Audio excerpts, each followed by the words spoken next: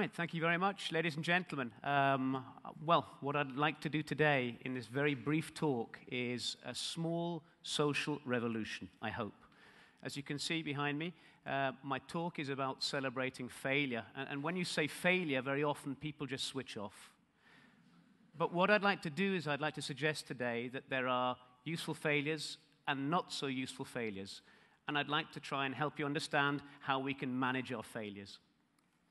So I'll begin with a very simple question. The simple question is who makes mistakes?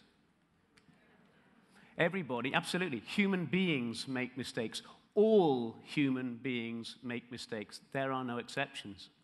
So, if it's inevitable for human beings to make mistakes, why is it that every single error that we make, we tend to over exaggerate and see as a disaster? We can't get there. We'll never get there. It's as if an error, a mistake, a failure means no success. It's as if in our brains we've got this idea of a spectrum. On one side you have success, and on the other side there's failure. But what I'd like to suggest is that's not the case.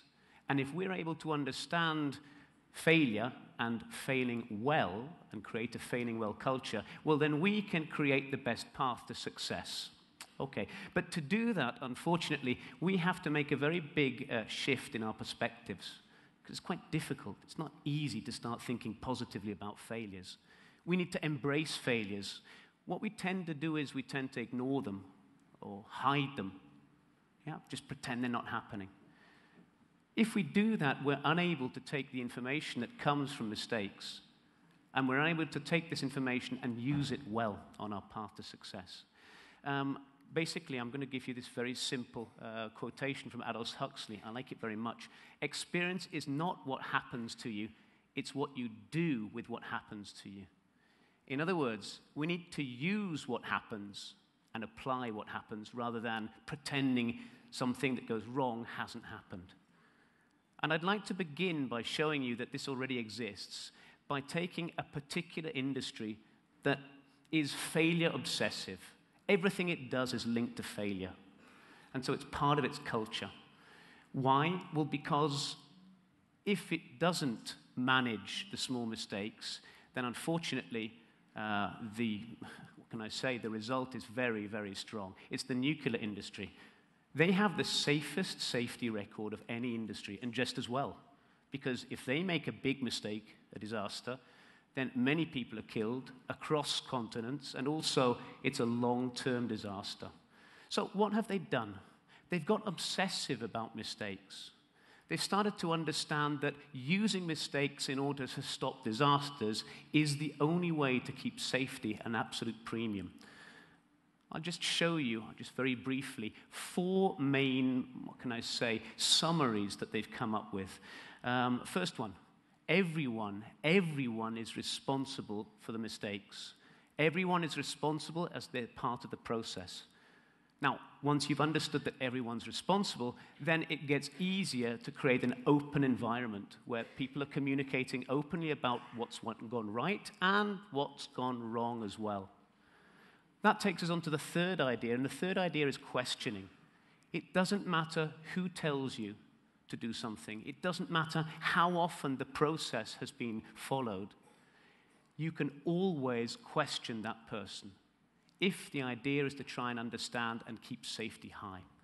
And finally, everything that comes out, especially the mistakes, are shared. Uh, you can notice that this is from the Institute of Nuclear Power Operations. What does that mean? It's a nationwide, sorry, a sector wide idea. In other words, we don't keep our information to ourselves, we share it amongst everyone, all the competitors. Now that's pretty interesting. But where's the link between mistakes and disasters? Well, to do that, I'm going to show you this. This is the accident pyramid. It comes from a, a very different sector, the insurance sector. The insurance sector basically, well, it's uh, based on failure, yeah? It has business from failure. Um, this pyramid behind me, mm, it's about 100 years old. they've updated. What you see on the, uh, on the screen behind me is 2003 figures, something, something like that. What's important is not the exact figure. What's important is the relationship. We'll begin with the yellow pieces, okay? We'll start with first aid.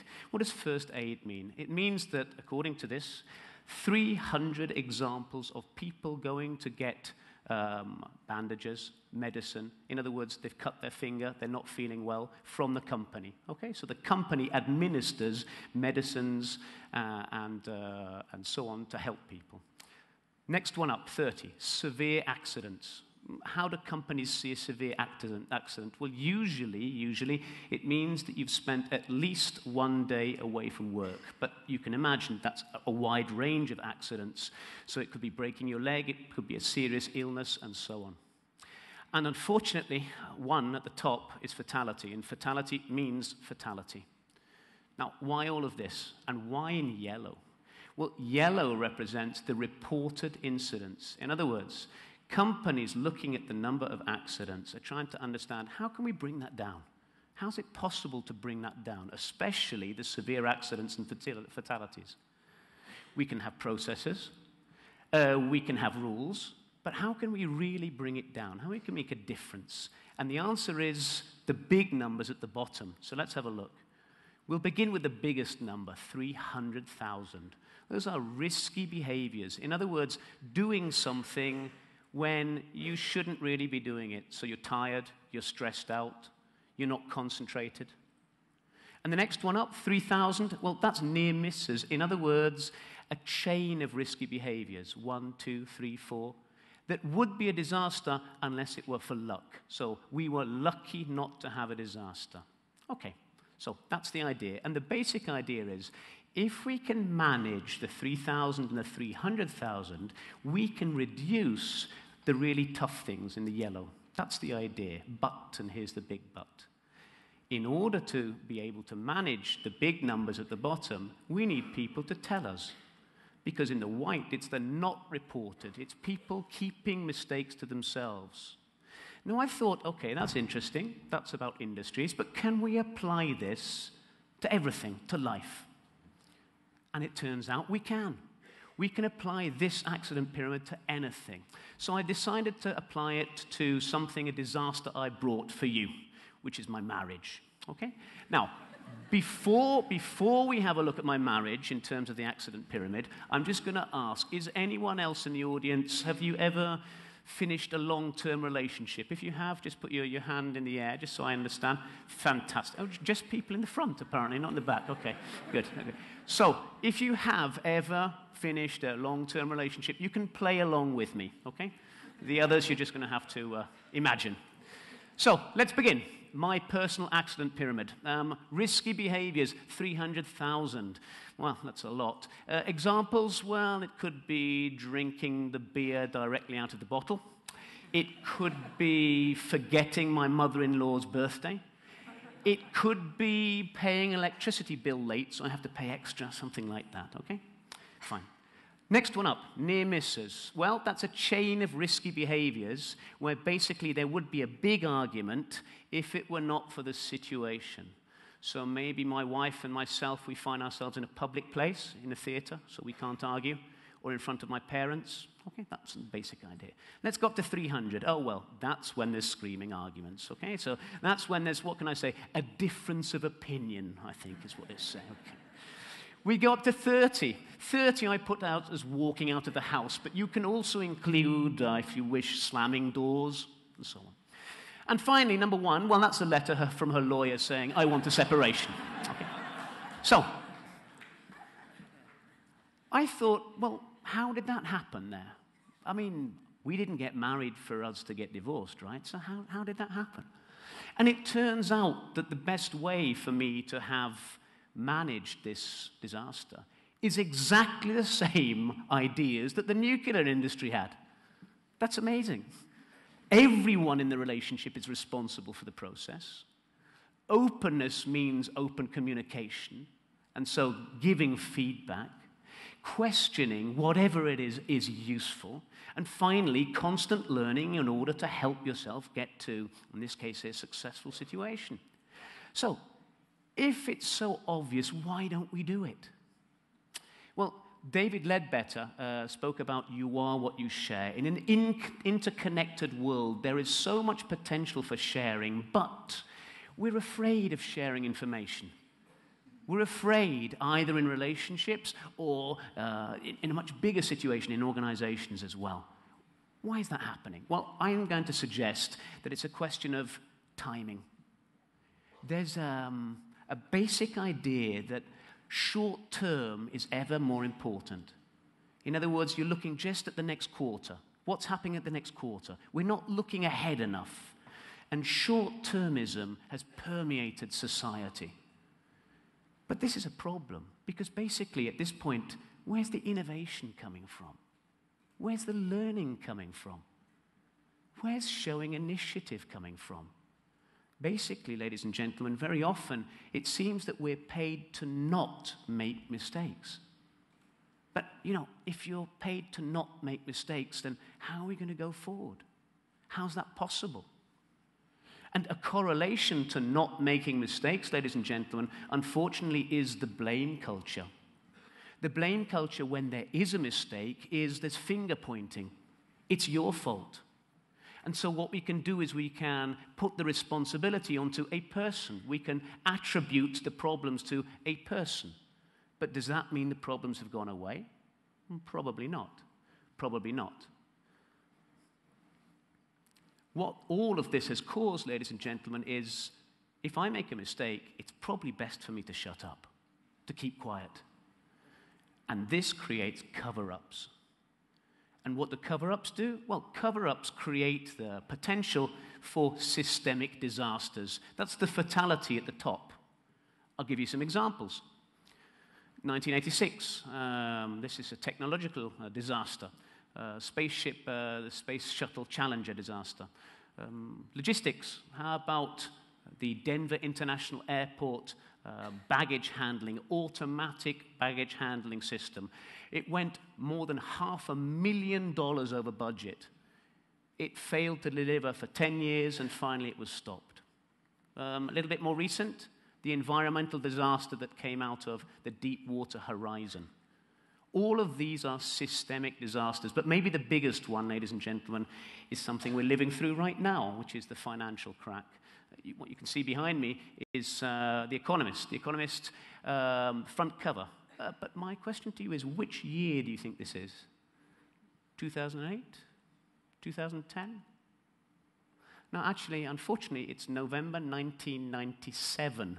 You see, we're not very good at learning from failures we tend to sort of forget them, ignore them. Let me try and put everything together, ladies and gentlemen, in synthesis. Well, in a perfect world, ladies and gentlemen, everything would go right and we'd understand, and that would be wonderful. But we don't live in a perfect world. Let's take the opposite.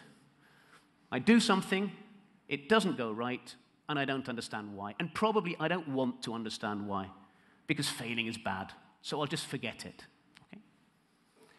short term, short term pressure, ladies and gentlemen, makes us feel that what's come up now is the answer. In other words, you're successful, but it's not important how or why you were successful. And very often, short termism means you were lucky. You were lucky. Well, that's good for the immediate result, but there's a problem. And the problem is you don't know how to repeat it. And probably what we're doing is we're sowing the seeds to an eventual disaster. So, what I'm going to suggest this afternoon is why not think about short term mistakes being an important part of learning to get to the overall goal? In other words, shifting, moving from this idea of successful, unsuccessful to why we are successful or unsuccessful. That's the basic idea. So let me put it all together. What have I learned from failure? I've learned these things here. First, failing well means learning, especially the difficult feedback. In fact, if you can take something from the difficult feedback, that's usually the most important information. Second one, if you're too short term about how you see things, you're probably creating, without knowing it, the basis for a long term disaster. Third, accountability doesn't mean punishing people, it means understanding that you're part of the process. And finally, if we can create a no blame culture, then basically we automatically have more openness. So, in other words, there's much more information that comes out. Now, I can't do this by myself. I can't create a failing well culture by myself. So, I need some activists, and I thought I'd start with 600 people today. Okay? So, I know you're busy today. So, as of tomorrow, ladies and gentlemen, let's all start failing well. Thank you very much.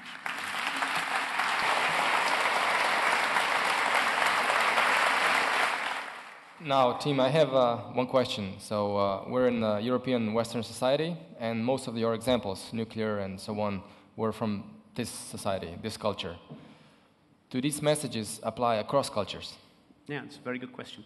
Um, in terms of short termism, so this idea of just looking at the next quarter, that's very much an idea of, uh, of the Western world. But the idea of cover ups is worldwide. Uh, it, it links to how much information is power if you retain it or you share it. But let's say what's underlying everything, so in other words, that goes across cultures, is the idea of embarrassment and shame, which changes from culture to culture. So in the Eastern cultures, shame would be looking bad in front of the group, whilst generally in the West, it's shame feeling I'm unable to do something the individual. So, yes, the basic idea, but how we would change that, that's going to change from, from culture to culture. Okay, thank you very much. Thank Tim Baxter.